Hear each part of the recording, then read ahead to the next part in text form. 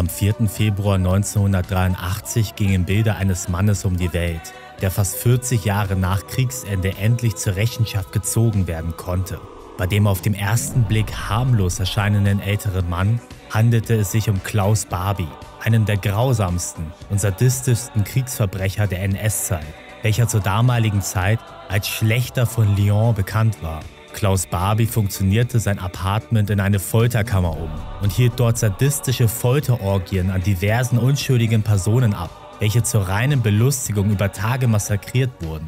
Er folterte seine Opfer mit glühenden Eisen, Schneidbrennern, Elektroschocks, kochendem Wasser und diversen anderen Folterinstrumenten.